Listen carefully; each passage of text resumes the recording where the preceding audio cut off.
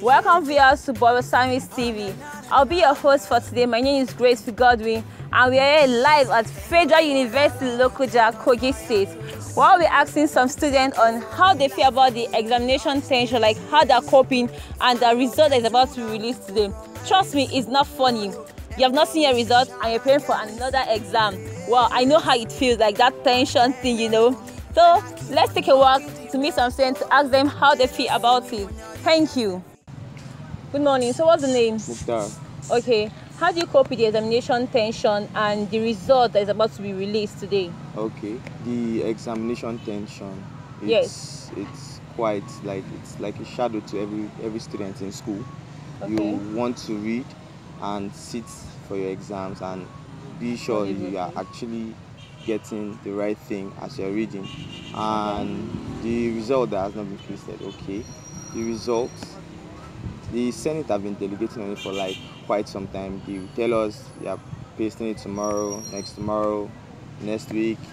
And yesterday I heard it was going to be pasted today, and we've been waiting for the results, and we've not seen anything. I also heard this morning that the Senate are still delegating on it, so I don't actually know. For a student to know his or her result, it's quite cool because they will have to like sit properly and read engage themselves in any reading activities to actually boost their stamina in the exams and their GP as well. So it's quite unfortunate that we've not seen our results at this moment. So we just want them to paste it now so that we can get a good result and know what we can do before the exam comes. So that's just it. Alright, cool, really. So are you tense now? No, I'm not. So like what are you expecting and to get? funny enough i i can't actually grade myself i'll have to see it first but to me i might just say a 2-1 because i kind of like joined the department quite late so that would be like okay for me a 2-1 might be cool Okay. Thank you very much. Thank nice talking to you. You too. Right. How do you cope with the examination tension and the result that is about to be released today? So how we trying to cope with the examination tension is not by uh, by the uh, result tension. It's not by thinking too much about the result because I feel like last semester I put in a lot of effort uh, into studying before the exam. So I feel like the result is going to be okay. I'm an optimist, so I don't feel like I should be tensed. If I'm tensed, it will change the result anyway, and it will only make me um, feel bad and less prepared about the upcoming exam. So I feel like the last semester exam is gone, is past. So the next focus is the um, coming exam. So like right now you're not tense at all. No, I'm not tensed. Okay, nice talking to you. Thank you very much. Are you coping with the exam tension and the result is about to be released soon? They've been putting us on hold this week, next week, and all that. We're tired of waiting. And they will see it. That will be it. Okay, so are you coping with the re- eh, exam? I'm trying to prepare ahead and all that to do better than I did last semester. So you're not tense at all? I'm not. All right. Nice talking to you. Thank you. Thank you. So how are you coping with the examination tension and the result that is about to be released?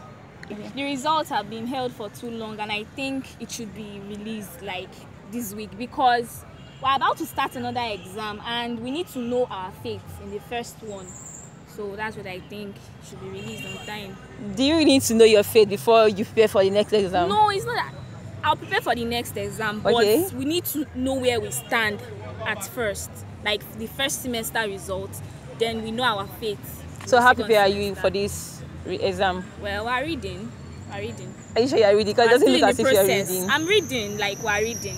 In Okay, so what are you expecting for the outcoming results? For the outcoming result. I maybe I'm re- I'm expecting average. I'll be average. Like how many for like four points, Say three points. three points. Okay, nice talking to you. Thank Bye. you.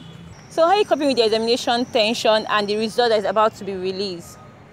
Exam tension. I don't really have tension concerning this exam because there's enough time. Okay, because there's enough time to my exam because I'm starting September in uh-huh. 100 level. So um, the results. By now, uh, we're supposed to have seen our results, but I don't know what is delaying it. At least when we see these results, we'll know how to prepare more for our exams. So I really think the results should be out before the exam period. So it's like you have to see a result before you pay for your next exam. Is that what you're trying to not, say? Not like that. Like there is an extent you prepare, you are relaxed. Okay, right now we are actually relaxed, but we are reading. We are reading.